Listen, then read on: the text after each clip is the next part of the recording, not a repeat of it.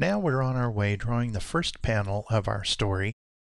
I'm going to use the background that I designed earlier and looking at the script I can see that our hero Lenny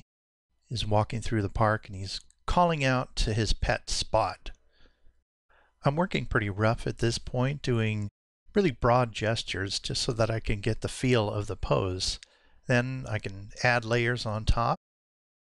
and uh, take a brush and do a little bit more of a, a clean job on it. Uh, this is sort of an intermediate rough where I'm tightening things up and I'm still staying loose enough so that I can continue and work through the scene to make sure the whole scene is working before I start doing a really razor sharp cleanup.